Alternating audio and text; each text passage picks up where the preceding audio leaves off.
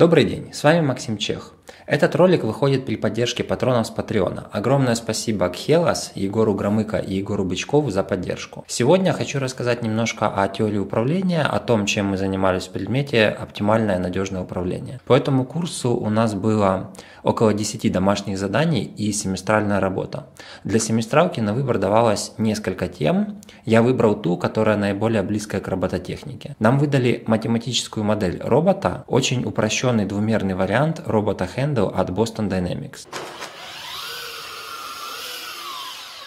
Выглядит наш упрощенный робот следующим образом. В механическом плане робот представляет из себя колесо, к колесу прикреплена палка и к первой палке через пружину прикреплена еще одна палка. Все параметры робота, такие как тугость пружины, диаметр колеса, масса палок, указаны в математической модели робота.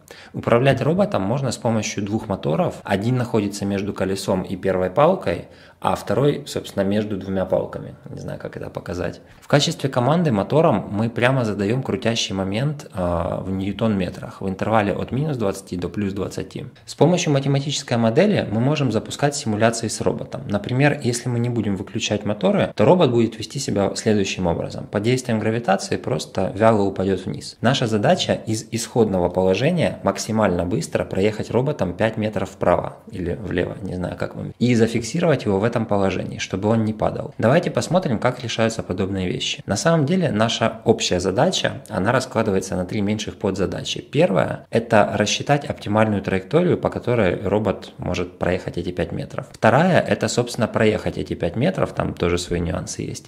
И третья задача – это остаться стоять на месте в фиксированном положении. Последняя задача на самом деле самая простая, и с нее мы и начнем. Нам необходимо выбрать начальное положение, в котором мы хотим робота удержать держать. Динамика робота имеет 6 состояний. Это три угла и еще три угловые скорости деталей робота.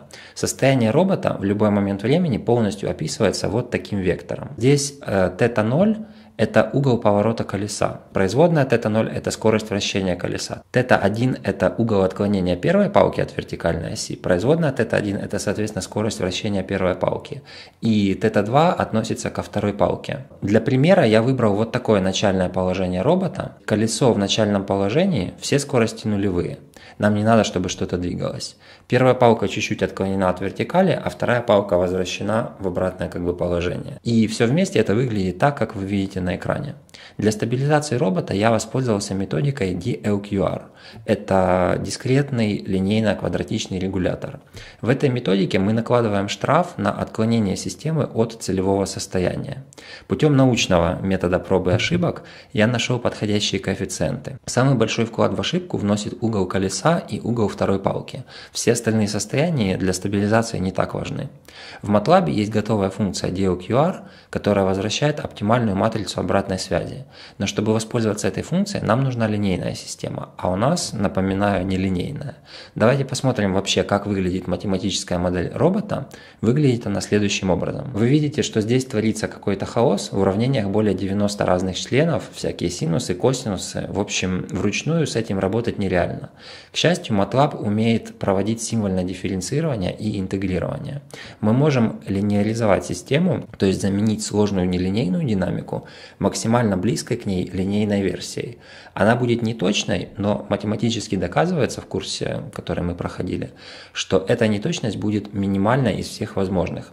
И если состояние системы не будет сильно отдаляться от рабочей точки, в которой производилась линеаризация, то все будет в порядке. Динамика линеаризированной системы описывается с помощью простых матриц. Теперь мы можем подставить матрицу системы и коэффициенты штрафов в матлабовскую функцию и получить матрицу обратной связи. Таким образом, задача стабилизации робота в нужном положении будет решена. Робот стоит в начальном положении, не падает, почти не двигается. Следующая задача – это поиск оптимальной траектории, по которой робот проедет 5 метров вправо. По траектории тут подразумевается не просто путь по земле, который надо проехать, а последовательность состояний робота во времени. То есть оптимальная траектория говорит, в каком положении находится и с какой скоростью двигаются части робота в каждый момент времени. Это задача численной оптимизации. Существуют разные способы ее решения.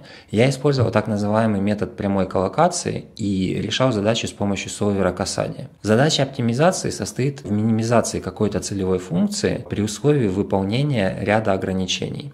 Поскольку наша задача звучит так, что нам нужно проехать 5 метров как можно быстрее, это ключевая фраза, как можно быстрее, целевой функцией будет просто минимизация времени движения. Из ограничений у нас задано начальное и конечное состояние робота. Известно, что ограничен крутящий момент на моторах. Это тоже надо учитывать в оптимизации. Кроме этого, я добавил дополнительные ограничения на отклонение палок от э, осей, чтобы они не шаркали по полу при езде. И еще ряд ограничений накладывает метод прямой коллокации.